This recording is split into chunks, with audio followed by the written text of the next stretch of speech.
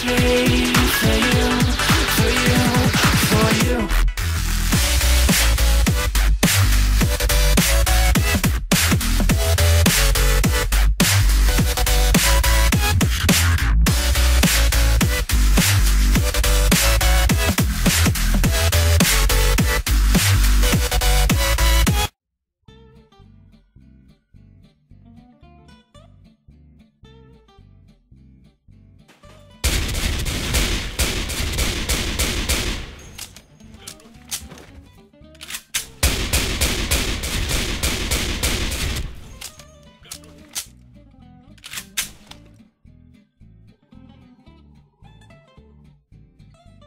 เอาละครับ สวัสดีคุณผู้ชมกันด้วยนะครับผม วันนี้คือผมแอนนี่เบเกอร์นะครับผม วันนี้จะมารีวิวปืน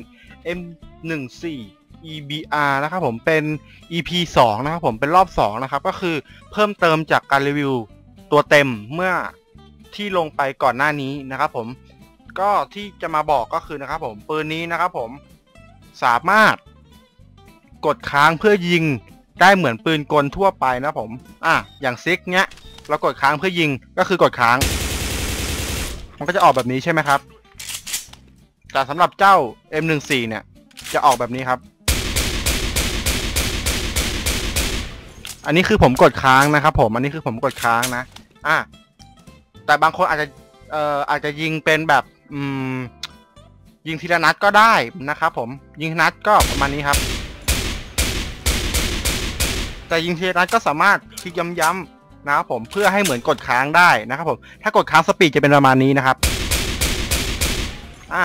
ถ้าคลิกย้ำๆนะครับผม speed ก็จะเท่ากันเลยนะครับผมอ่านะครับ แต่จะได้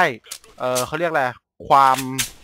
แรงดีดเนี่ยจะน้อยลงนะครับ ผมถ้าเราคลิกย้ำๆนะครับผมจะเทียบเท่ากับการกดค้างนะครับผมแต่กดค้างเนี่ยสามารถลดแรงดีดได้โดยการดึงเมาส์ลงหรือคุมเมาส์นะครับผมอ่าแต่ผมจะทำให้ดูนะครับผมโดยการคุมเมาส์นะครับ โดยดึงเมาส์ลงนะครับ นะครับผมก็จะเป็นก้อนเป็นกลุ่มประมาณนี้นะครับผมอันนี้คือดึงเมาส์ลงนะครับ โอเคนะครับ อันนี้คือการคุมเมาส์นะครับผม แต่ถ้าเราซูมแล้วดึงเมาส์เนี่ยก็จะนิ่งลงไปอีกนะครับผม ก็จะเป็นกลุ่มเดียวก้อนเดียวเลยนะครับผมโอเคนะครับผม อันนี้คือเรื่องที่หนึ่งนะครับผมสามารถกดค้างได้นะครับผมอ่าที่ผมไม่ได้พูดจากคราวที่แล้ว เอ่อปืนนี้นะผมมีน้องคนหนึ่งนะครับ ผม comment มานะครับผมว่าปืนเนี้ยเอ่อจากการที่ผมไปดูหลายเว็บแล้วนะ คือเว็บส่วนใหญ่ก็จะบอกว่าเป็นเอ่อ rifle เอ่อเป็น sniper บางเว็บก็บอกว่าเป็นลูกผสมนะครับผม แต่มีน้องคนหนึ่งนะครับผมก็comment มาบอกว่า เออ มันเป็นปืนกึ่งผสมนะครับผมระหว่างคือมันไม่ใช่ปืนกล มันไม่ใช่ปืน sniper นะครับผมมันเป็นปืนลูกผสมก็คือเอา ข้อดีของ sniper และข้อดีของเออปืนกลมารวมกันนะครับผมจึงออกมาเป็นปืนนี้นะครับผมโอเค และอีกอย่างหนึ่งครับผมปืนนี้สามารถยิงทะลุกำแพงได้ครับผมก็คือเหมือนผสม sniper แล้วก็ sniper แล้วก็ปืนกลธรรมดานะครับปืนกลแล้วก็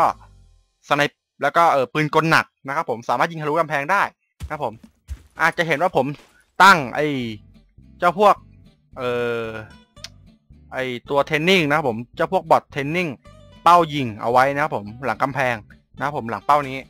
นะครับผมที่หนาพอสมควรเลยนะครับผมอ่าเดี๋ยวผมยิงให้ดูนะครับผมมันสามารถยิงทะลุได้นะครับผม เห็นไหมครับ มันยิงทะลุได้นะครับผมมันจะขึ้นเป็นแฉกเลยครับเนี่ยนะครับ อันนี้คือยิงทะลุได้นะครับผมซึ่งกำแพงมันหนาพอสมควร จะรู้ได้ไงว่า เอ้า พี่กำแพงนี้อาจจะทะลุได้อยู่แล้วหรือเปล่า ดูซิกนะครับ อันนี้คือปืนกลธรรมดานะ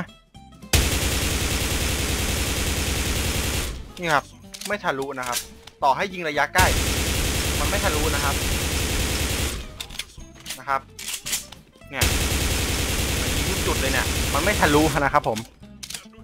ก็จะมีเฉพาะปืนกลหนักเท่านั้นที่สามารถยิงทะลุกำแพงได้สำหรับอ่า G36 ก็ไม่ทะลุนะครับ ไม่ทะลุนะครับ ไม่โดนแม้แต่แม็กเดียวเลยนัดเดียวก็ไม่โดน แต่สำหรับเจ้า M14 EBR นะครับผมทะลุนะครับผมคือคือผมถือว่าเป็นปืนที่ดีพอสมควรเลยนะนะครับผมสามารถเล่นในระยะไกลเพื่อเป็นสไนเปอร์ได้เลยนะครับผม อ่าสมมติผมอารมณ์เออจะอารมณ์ประมาณสไนเปอร์อะปึ๊บเจอศัตรูปึ๊บปึ๊บปึ๊บนะครับผมยิงทีละนัด แต่ต้องใช้สองนัดละกันนะครับ ผมใช้สองนัดถึงจะตาย หรือศัตรูอาจจะซากหรืออาจจะบาดเจ็บมาแล้วนะครับผมก็อาจจะนัดเดียวตายได้นะครับผมเนี่ยอันนี้คืออารมณ์ประมาณสไนเปอร์ถ้าอารมณ์ประมาณพวกปืนกลทั่วไป พวก assault rifle นะครับผมพวกปืนกลปืนกลเบา ปืนกลหนักนะครับผมจะอารมณ์ประมาณนี้ครับ คือกดค้างอาจจะกดค้างหรือยิง คือระยะใกล้ ผมแนะนำให้กดค้างไปเลย ยิงอัดอัดตัวไปเลย คือยิงส่วนไหนก็ได้ยิงให้มันโดนเถอะเพราะ damage มันเยอะครับ อย่างเงี้ยอารมณ์จะประมาณนี้ครับ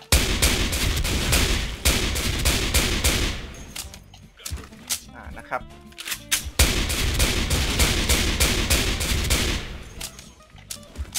แต่ในระยะไกลนะผมหรือระยะที่เราสามารถตั้งตัวได้นะครับผมว่าเฮ้ยเราสมควรยิงอย่างนี้นะ ก็คือผมแนะนำให้ยิงเคาะเอานะครับผมหรือยิงแบบคลิกย้ำๆเอานะครับผมนี่ครับจะสามารถคุม เชิงและคุมเมาส์คุมอะไร คุมปืนได้ยิงเอ้ได้ดีมากขึ้นนะครับผม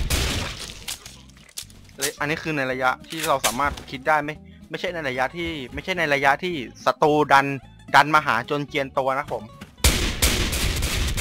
ในระยะที่ศัตรูดันมาหาจนเจียนตัวเนี่ยอาจจะกดค้างไปเลยก็ได้นะผมแล้วดึงเมาส์เอา แต่กระสุนก็จะมีความเป๋นะครับผม